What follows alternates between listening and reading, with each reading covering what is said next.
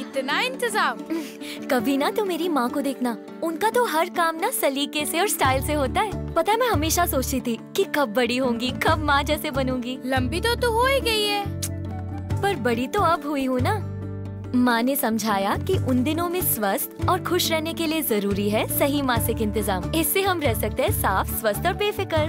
Same to same पता है पहले मैं माँ की ना फ़ैन थी पर अब वो मेरी बेस्ट फ्रेंड है। और मैं? चल चल जाते हैं।